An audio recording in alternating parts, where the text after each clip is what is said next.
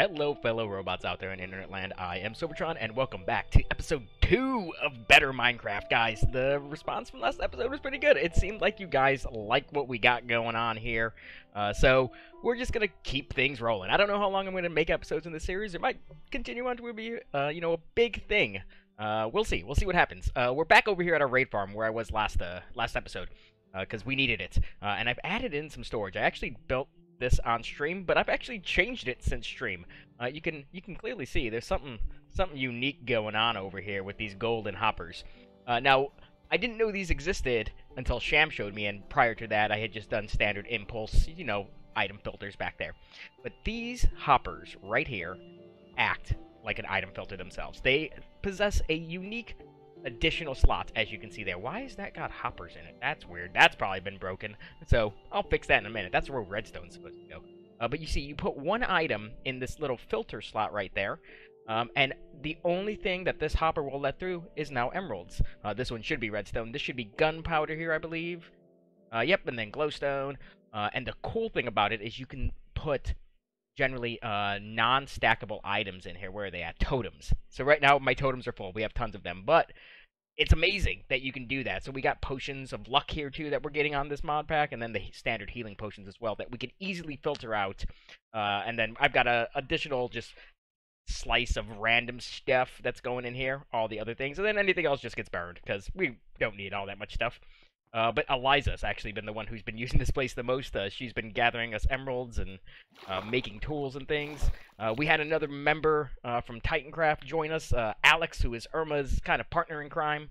but you can see we're building up a nice supply of emeralds now, and we absolutely need it.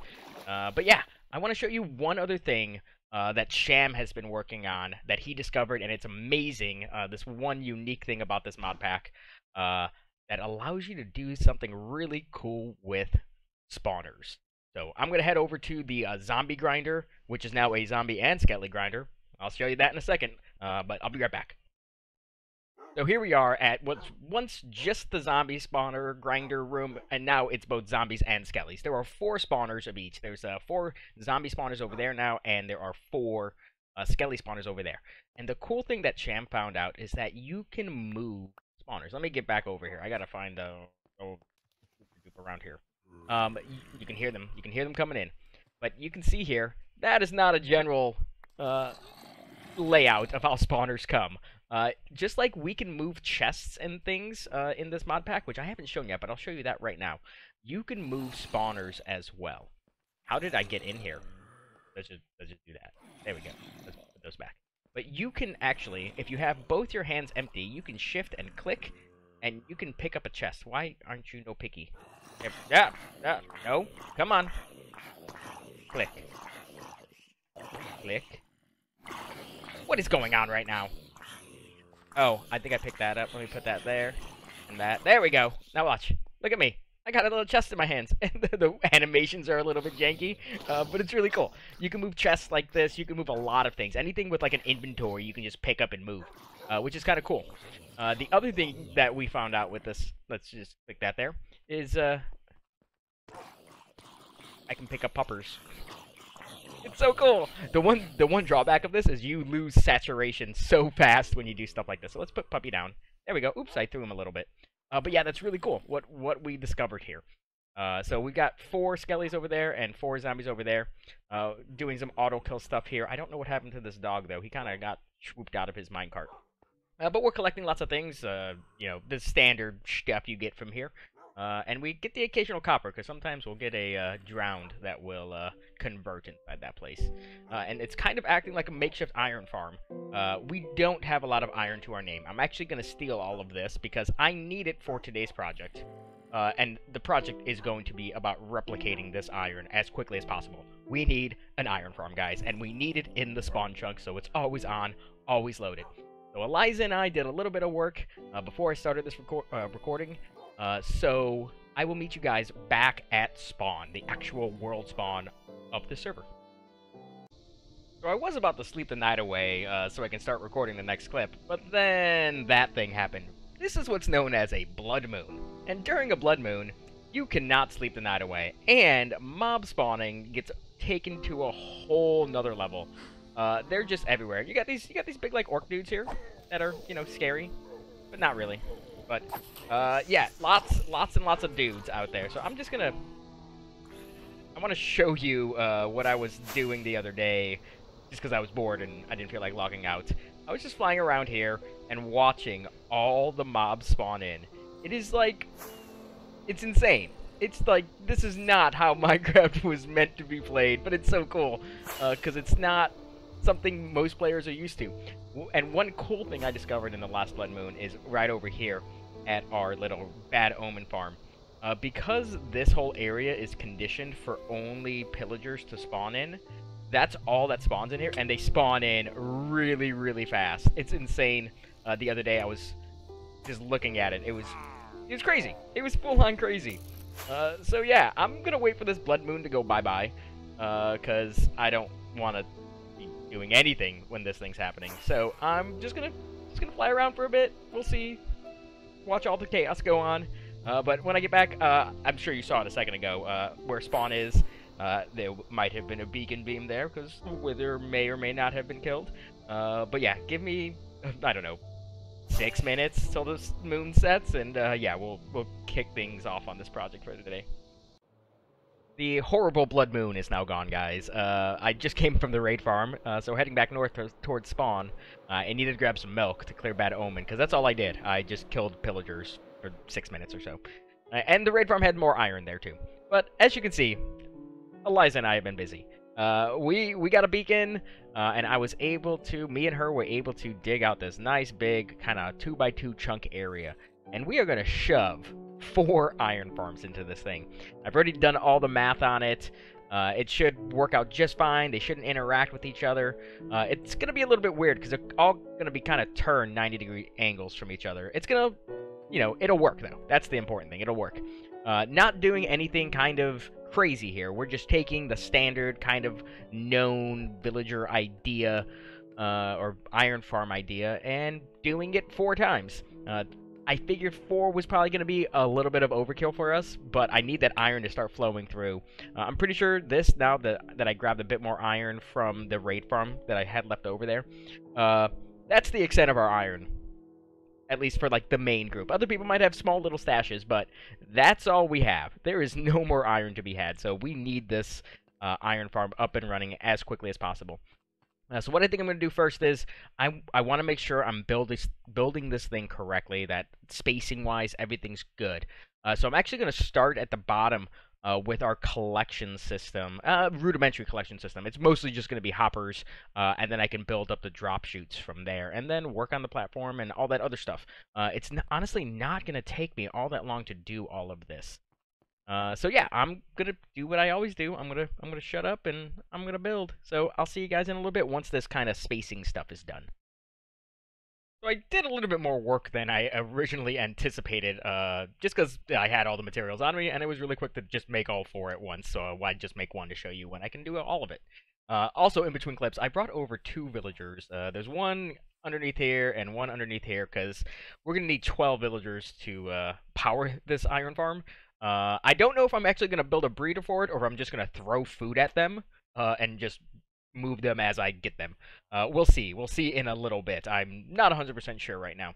Uh, but one thing I wanted to show too is just another cool thing in this mod is this stuff called Ignistone, uh, which is essentially like ice, but it's lava instead of uh, water. So you can use Silk Touch on it and you get the stone back, but if you fortune it, boom, lava amazing. Like lava buckets are a thing of the past.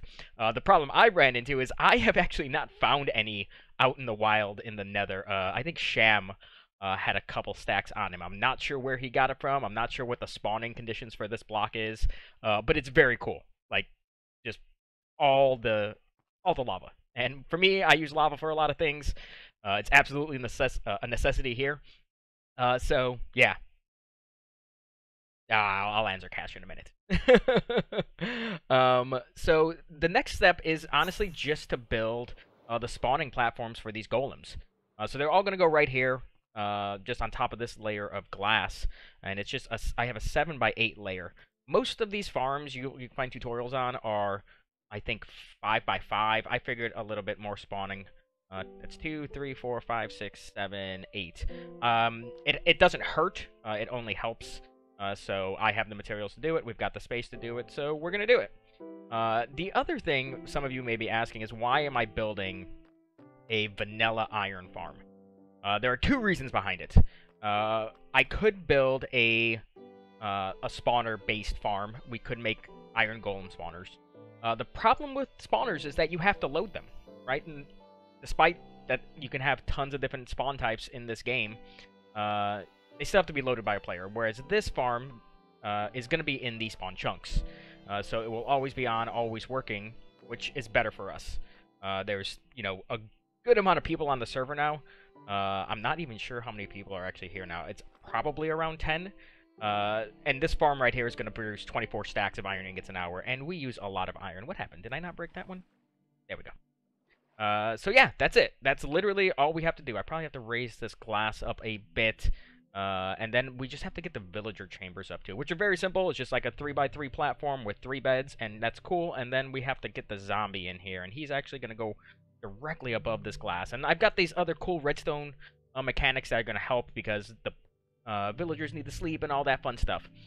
Uh, so I just need to replicate this three more times and then get some other platforms in and uh, run a little bit of redstone and we can get this farm activated, which is highly needed. We are severely hurting on iron. Why? Oh, ugh. That's good to know. Let me uh, let me fix that. I'm glad I saw that right now. Many of you might know what's going on here. It's wintertime on the server right now, and all that water is freezing. Uh, we can... Can I... Thank you. Uh, torches. All the torches. Hopefully that's enough light. It should be.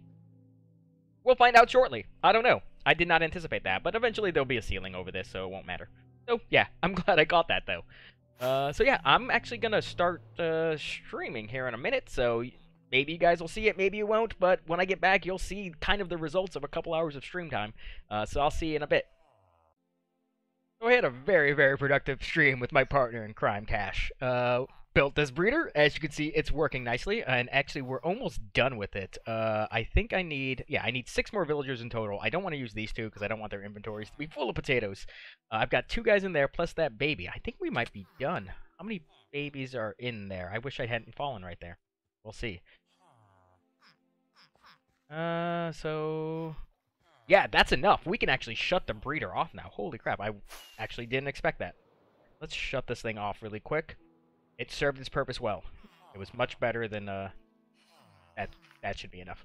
Anyway, uh, I've got two of the modules working thus far. I had to do some crazy waterworks here, and I haven't removed it yet. But both these two sides of the farm, these two modules, are working nicely. You can see there's a golem burning down there right now, uh, and nothing there yet. But you should see any second now. Wow, frames, hi. Any second now, we should see an iron golem spawning in one of these two modules. And they're spaced just enough apart uh, so they don't interfere with each other. Uh, a golem spawning in this village will not prevent a golem from spawning into this village. And I'm dropping them really low to kind of clean up that uh, mechanic as quickly as possible. If I can just see one, please. Any day now, guys? Don't do this to me. Don't do it. Don't do it. Anyway, there! Yay, one of them worked, and there's the other one. So, beautiful. They are both spawning uh, golems now, which is great. Uh, getting a little bit of iron going. It hasn't been running for that long. That one, and then this one just started working. It took a while uh, for night to come for uh, the villagers in that module to actually go to sleep so that they can spawn uh, golems. Uh, but yeah, we just have two, six more villagers to get in here. Um, let me explain this redstone. I've been walking all around it, but I haven't really explained what's going on here. So, villagers need to sleep every once every 20 minutes, or at least get into a bed. They don't need to sleep the entire night or anything. They just need to be laying down. Uh, so what I've done is I've hooked up a daylight sensor to detect when it's dark, uh, and it'll be uh, uh observed by the observer, obviously, go through the repeater, and then push out that redstone block uh, to power uh, this pulse extender.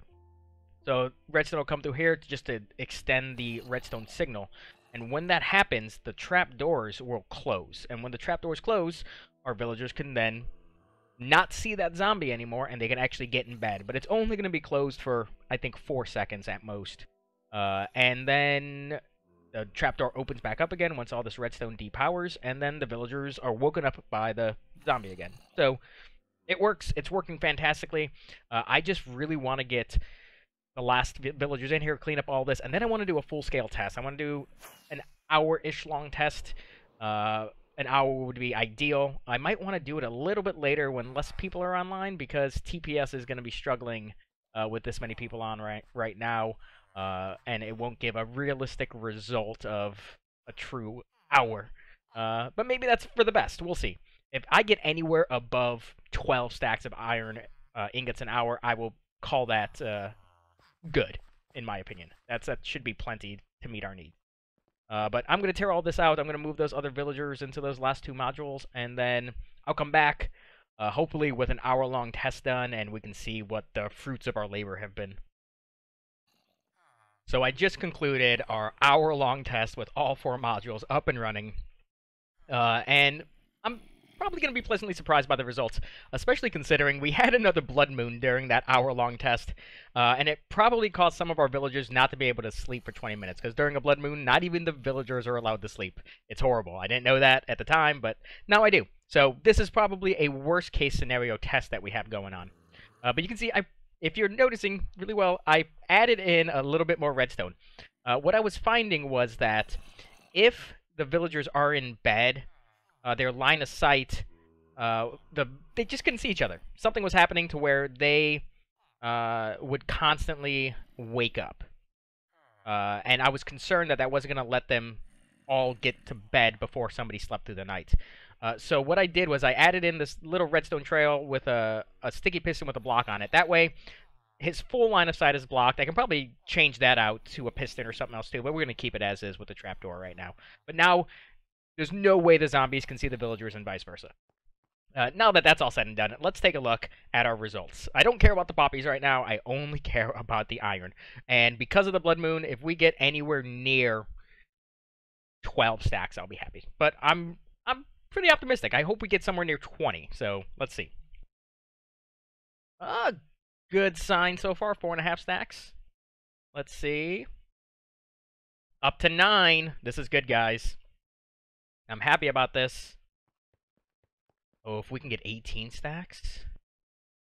Nice. So 18 and a half stacks of iron ingots in an hour-long test. And this, like I said, worst case scenario. Absolute worst case scenario. Let's turn that off. Ah, all the buttons. What is happening? Ah. Ugh. That was scary. 18 and a half stacks of iron ingots. That's two stacks of blocks. That's great. That's fantastic. I'm overwhelmed with those results. It's great.